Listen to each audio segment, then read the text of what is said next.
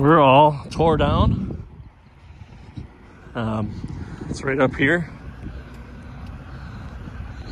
As soon as I pulled in, um, one of the guys was coming out and told me where it was, so pretty easy. So let's walk up here and go get it. Said the keys are in it. So see if we can get around the trailer. Man, this is weird.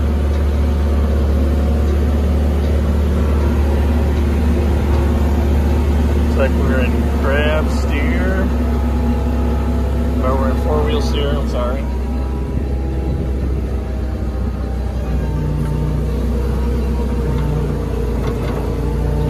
So we're gonna get lined up here.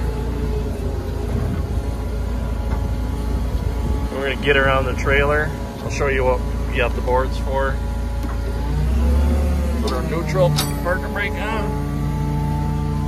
Okay. Pretty sweet little thing. Never drove one of these before in my life either. She's pretty low. So what we got to do is make sure we don't hit the centerpiece there. Um, that's what we're looking for. So I'm gonna these boards in. Let me get her up on here and I'll show you once we're done. All right, we're all done. That literally took 20 minutes. Um, that's all tied down. Got our chains on. Uh, we had to let the cable down so we can get our chain through that eyelid and then snug it back up. We put a binder, a ratchet binder, twisted straps around it because this has this piece right here swings out. Um, as you can see, this will swing out. It's called the jib. Um, so we're preventing any of them pins from falling out and causing a problem. Also, this boom swings. So to prevent any swinging, anything like that, um, just a one loop around choke, that's gonna put a bind, keep this piece tied to this piece. It's also gonna keep it from going like this. Um, but four chains and binders, we definitely needed them boards. There's no way we're getting on or off without them boards. Um, stuff like this, you just gotta make sure ain't gonna come out. Um, take the key out, obviously. Take the keys out every time. This is how you run your cable.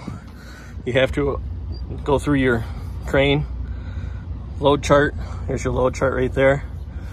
Um, so if it starts maxing out, you know, you, are too much boom, you're too far away. Turn the gas off. Um, just basic crane crap. Other than that, super easy. Um, another thing I haven't done before. Must be a, this is a brand new facility. Look how small that thing is. Pretty neat though. Pretty neat. So I'm gonna hop in the truck, get going. We got a lot of miles to go and I wanna have this offloaded by tomorrow. Ugh. How do you know you're getting old? Every time you wake up. 20 minutes before your alarm goes off because you gotta pee like a racehorse. Let's go to our pre-trip real quick. We gotta get some fuel. And uh, we gotta sign in quick.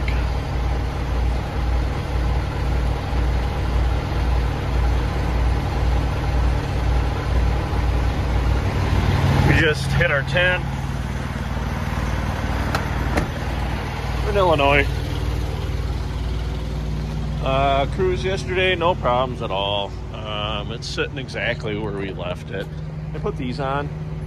Uh, on this side, I fixed the latch.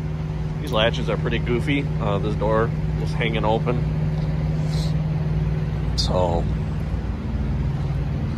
everything's looking good. Dispatch actually called me yesterday on my way up asking, uh, said the broker wanted to know if I wanted to haul another one picking up at the place where we're delivering this.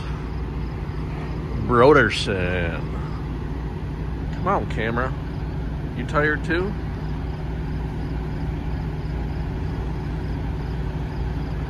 I'm not sure why it's having trouble focusing. Clean those lenses. It is just being goofy. It's too tired for my phone. Everything's looking good. Tires looking good. Still got our load.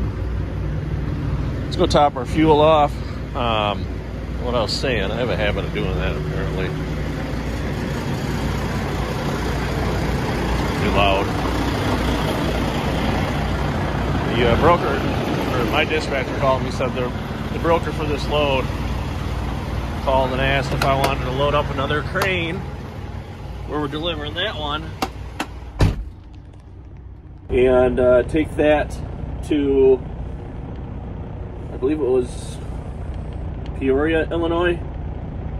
But I don't have time for that. I said I, I gotta be home. I got stuff to do. We got kids, and it was like a thousand bucks. It was only like three something, like three bucks a mile, something like that. I toyed with the idea um, of just taking it. So yeah, I'll deliver it Monday. Um, but it's not that good of money.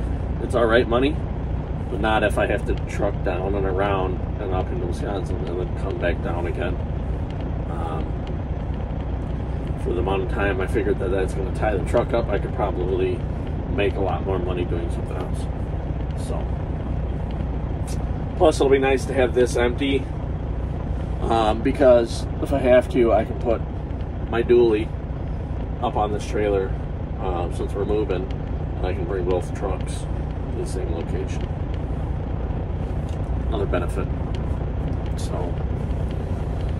I'm gonna go uh, finish my paperwork here, and then we're gonna go fuel up and get going. We've got five and a half hours um, to get to our destination, um, which is gonna put us there about 11 o'clock. So, we gotta get rolling. Right, well, we are here in uh, Norton Shores, Michigan. A half mile away here. Just gonna make this left, and then bang a right,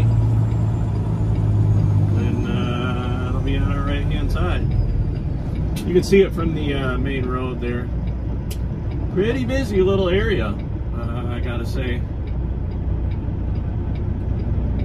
There is traffic everywhere for what is it? Uh, 11:45 Michigan time. Pretty darn busy. All in all, easy load. We're uh, just gonna go home after this. Hopefully, Chicago don't mess with us too much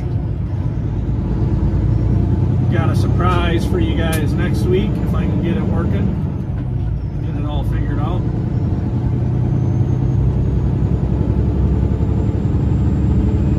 But I'm not going to tell you what it is. You're going to have to stay tuned for that one.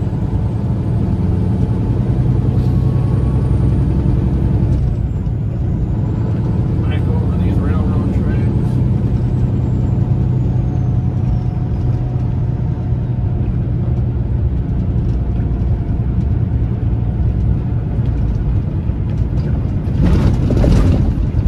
Not too bad.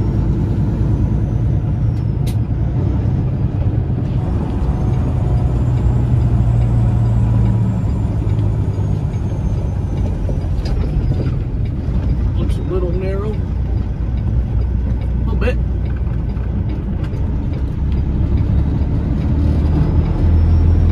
And we needed it. Another reason to uh,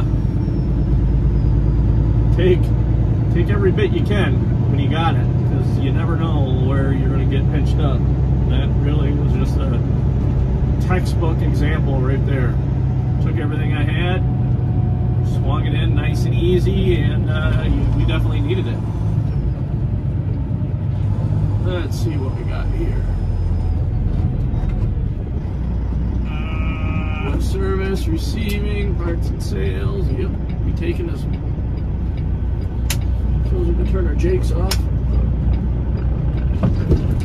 Whoa, whoa.